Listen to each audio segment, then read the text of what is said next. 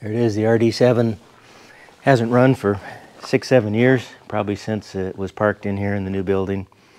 So the goal for today is to uh, get this thing running. Uh, all the controls are free. I don't see any big issues. I did try and run it uh, about a week ago and had no spark on the magneto. Um, but I did get gasoline coming down from the, uh, the tank down to the carburetor. I see no reason why the, the carburetor shouldn't be decent. It looks okay. If we have problems with that, then we'll start taking that apart. Uh, but uh, today, I think we're going to put the magneto uh, back on it. Took the mag off, cleaned the points, uh, just a general cleanup inside. And it looks like it's got good hot spark now. Do have the book uh, for the machine, so that's a bonus. And the book tells us to go inside this uh, compartment here. We get access to the flywheel. There should be some marks up here to get it properly timed with the little engine. So we got a good mag, we got the book. What could go wrong? Now we'll see what happens. All right, so we're into the book a little bit, and that's been very helpful. It's got a good section on setting up your uh, magneto to the engine. It's got a nice photo of uh, setting up the magneto with uh, with the distributor in the correct spot through this little uh, ventilated window. Unfortunately, our magneto is a little bit more modern, and it does not have that that little window but uh, no big deal. Just take the distributor cap off and you can determine where the rotor is and the little finger for the, uh, the contact over the number one cylinder. So I think we've got our magneto set up correctly. Now the other thing that's very important on these magnetos is the direction of rotation and you can see a arrow here. It notes that the magneto turns turns counterclockwise as viewed down this shaft. So um, I thought I'd get smart and just grab one off the shelf. I had a, a, nice new magneto. It looked the same on the outside. Had the impulse coupling. Looked all the same with the exception of this uh, direction of rotation arrow was quite different.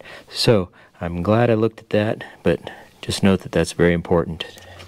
And the other item on the next page shows us how to uh, set up your, your little engine. So uh, through this uh, cover that I've removed, you can see the, the flywheel and the marks on the flywheel to line up with marks on this uh, casting here. So we've got it set up and it says to come up on uh, number one compression says hold your finger over the uh, spark plug hole and determine that you're coming up on compression on number one. Hmm. Problem is, which one is number one?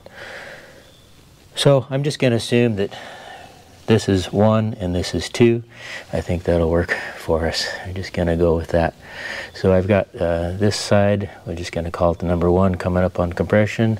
The mark seems to be in the right spot and the rotation here on the coupler seems to be correct. So let's uh, let's throw our mag on there and see what that looks like. So I've got the coupler, where is that? So with the mag set up where I think is correct, and the engine set up where I believe is correct, sure enough, our coupling seems to work out fine also. So I think it's the correct spot, so we're just going to go with that and bolt it up and see what happens.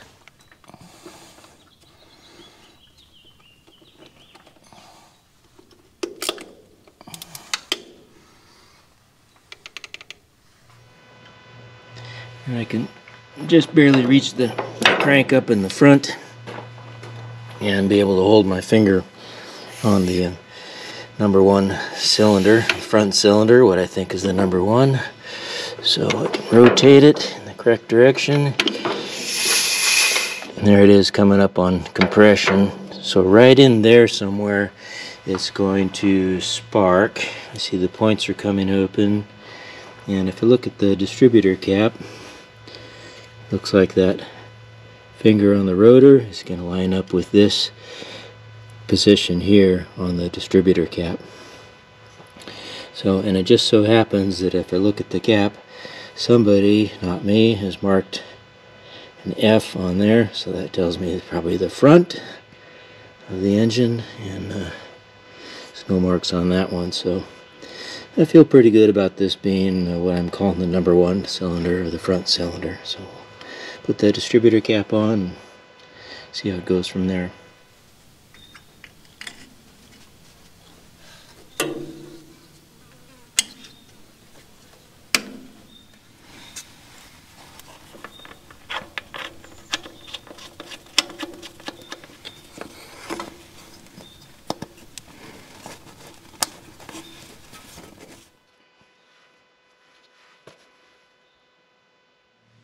And hopefully that's all there is uh, to it for the magneto. It's all bolted up wires are back on uh, plugs are back in.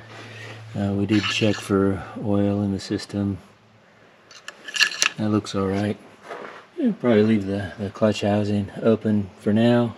In case we need to make changes so I think it's ready to to give it a pull here. Let's take his party hat off off the exhaust and uh, so it's got fuel, fuels on, down to the carburetor, reset the camera, and uh, give it a pull, see what happens.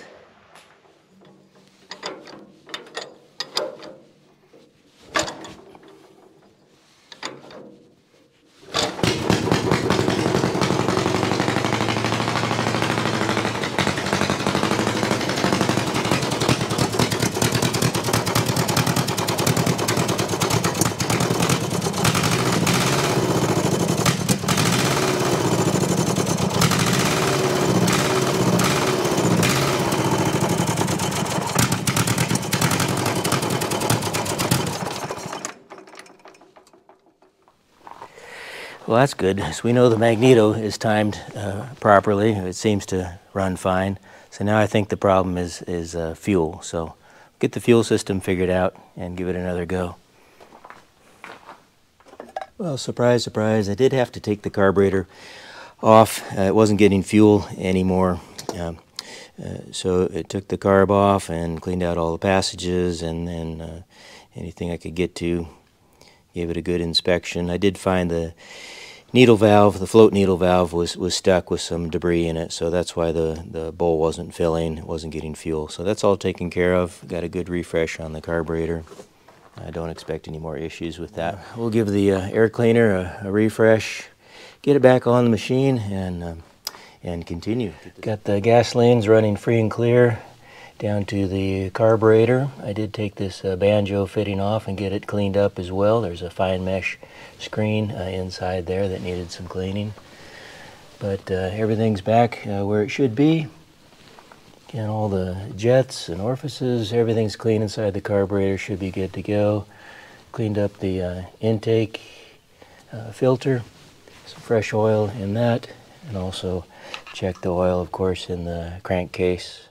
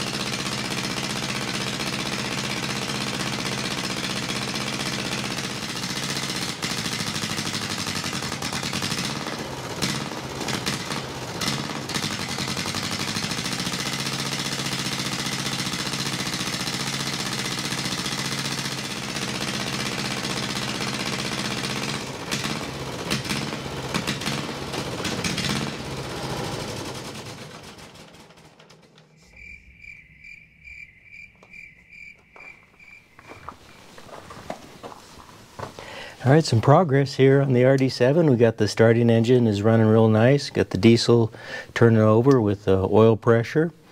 I know there's diesel fuel in the seat tank, so uh, I'm watching the smoke up there. Looks like it's not getting uh, fuel to the uh, diesel engine. So the next uh, step looks like is to bleed these uh, injector lines and hopefully get this thing to light off.